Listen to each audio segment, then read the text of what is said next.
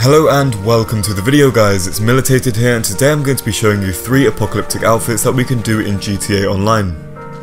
If you happen to have an outfit or a glitch that you would like to send to me then please do make sure that you send it to my Instagram which is officialmilitated or to my email which is militatedyt at gmail.com. If you enjoy the video then please do make sure that you leave a like and subscribe to the channel if you haven't already. But with all of that being said, let's now get on to the actual video. Okay, so the first thing that we need to do is head down to the mask store which is located at Vespucci Beach. Once you arrive, you're then going to start browsing the hat section, go into the riot helmets category and we're going to purchase the No Master Shielded Riot. If the visor happens to be in the down position when you buy it then all you need to do is hold right on the D-pad and it will put the visor in the up position. Moving on, we're then going to go over to the mask section and we're going to go into the Arena War category. From here we're now going to start scrolling through until we get down to the Black Marauder. So now that we have those two items purchased, we're then going to go down to the nearest clothing store. Once you eventually arrive, we're then going to head over to the pants section and we're going to go down to the bottom to where it says Arena War Pants. We're going to be purchasing the Black Raider pants which I honestly think are the best items to be added. In the top section, we're going to go into Arena War tops and then go into Apocalyptic. Head down to the bottom of the list and we're going to scroll up until we get to the Black Raider top. We're now going to go over to the shoe section of the store and we're going to go down to the bottom to where it says Arena War Shoes. For this outfit we're going to be using the brown and white Raider boots. With that sorted we're then going to back out of the shoe section and begin the long walk over to the accessory section. When we eventually get there we're going to start browsing and go into the gloves category. Now just head down to the bottom and purchase the black tacked gloves. At this point we're then going to back out of there and go into the glasses section. From here we're going to go into sports glasses and purchase the black wraparounds. However, if you want something that stands out a bit more, then you can use any of the wraparounds which have the coloured lenses. Either way, we're then going to leave the clothing store and head over to the telescopes at Del Perro Pier. You can also use the telescope in your high-end apartment, but sometimes that will not work. In the interaction menu, we're going to go into style and accessories and scroll down to masks. From here, you're then going to press left until we get to the Black Marauder which we purchased earlier on. Next, we're going to sprint at the telescope at an angle and you're going to press right on the D-pad as soon as you get near it. If timed correctly, then your character will just stand there instead of looking into the telescope and you should also notice that you are no longer wearing the mask. Going back to the interaction menu, we're going to go into style and accessories, but this time we're going to go down to helmets. Now press left until we get to the No Master Shielded Riot. When you walk away from the telescope, the mask will then reappear. The next step is to then repeat the telescope glitch so that we can get the glasses on. Next we're then going to repeat the telescope glitch but this time we're going to go to glasses and you're going to equip the black wraparounds. With the glasses, helmet and mask combined we're then going to need to head over to the nearest Ammu-Nation and start browsing the outfit section. Now just make sure that you save the outfit before we continue on to the next part.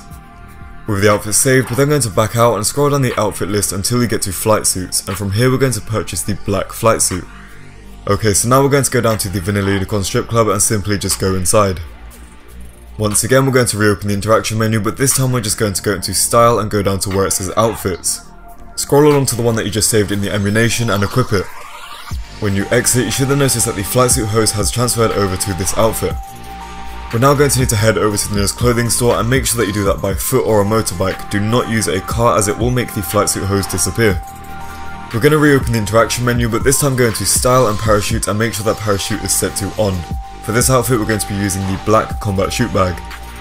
If you can't select a parachute then make sure that you go and buy one from Ammu-Nation.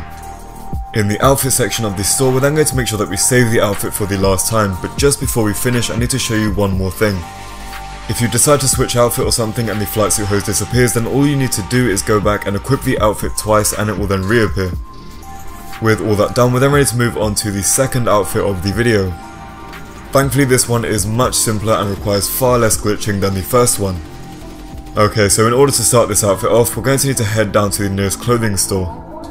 In the top section, we're going to go into utility tops and head down to the bottom of the list. Now just scroll up and purchase the beige detail battle vest. Next, we're then going to back out of tops and head over to accessories. From here we're going to go into the scarves category and purchase the black desert scarf. As we do with the first outfit, we're then going to go into the gloves category and purchase the black tacked gloves from the bottom of the list. With the scarf equipped, we're then going to head back over to the top section, but this time we're going to go into utility vests. From here we're going to purchase the light strike vest. Okay, now we're going to go over to the pants section and go back into the Arena War pants category. This time though we're going to go for the white Camo Raider pants. After equipping those, we're then going to back out of the pants section and head over to the other side of the clothing store to go over to the shoe section. In the Arena War shoes category, we then have a few different options to choose from. I would recommend either the grey Raider boots or you can go with what I'm going for which is the brown and white Raider boots. Again, that is just entirely dependent on personal preference, but once you have done that, you're then going to head over to the outfit section and make sure that you save it before we continue. Guys, please do make sure that you save it because that is a very important step that some people seem to always miss. Okay, we're now going to start browsing the outfit section once again, go down to the bottom and go to Outfits Arena War. Just as a side note, that astronaut suit can be pretty pricey, so do make sure that you keep that in mind. For now though, we're going to head back over to the telescope at Del Perro Pier. As I've shown previously, we're then going to sprint towards the telescope at an angle and press right on the D-pad as soon as you get near it. Now that the helmet has disappeared, we're then going to reopen the interaction menu and go back into Style. You then need to go down to Outfit and equip the one that you just saved before equipping the astronaut suit. The helmet will then reappear onto the outfit once you walk away from the telescope. Lastly, we're then going to head down to the nearest Ammu-Nation just to equip a parachute which I think completes the look. To do that, we're going to go into the weapon section and purchase it from the top left.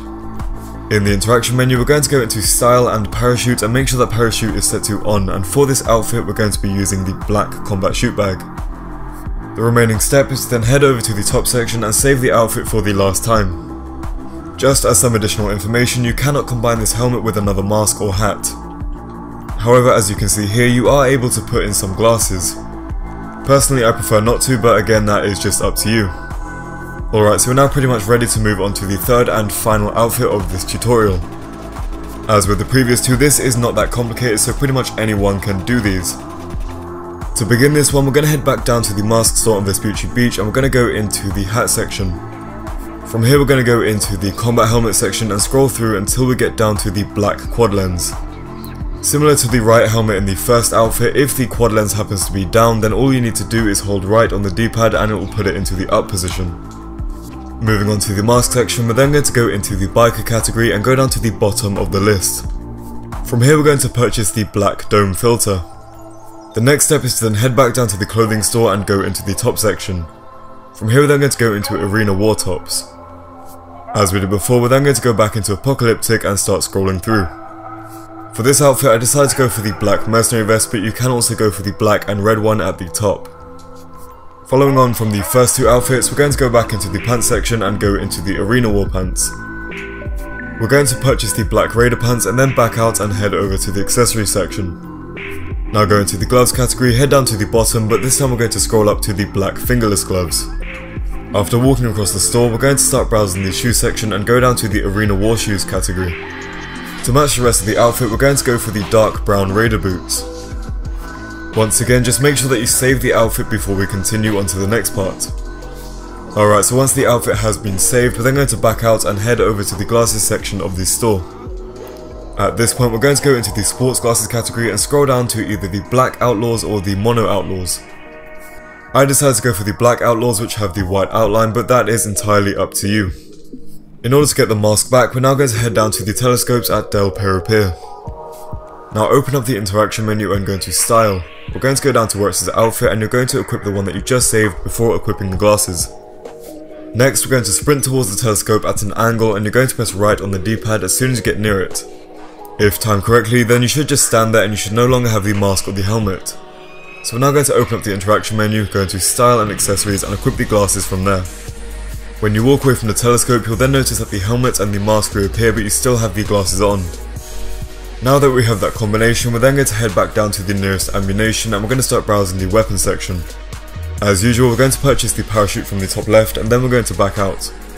In the interaction menu, we're going to go into style and parachute and make sure that parachute is set to on. Just like the other outfits, we're going to be using the black combat chute bag. To finish this outfit off, we're then going to make sure that we save the outfit for the last time and then we are done. Thank you very much for watching and I hope you enjoyed the video.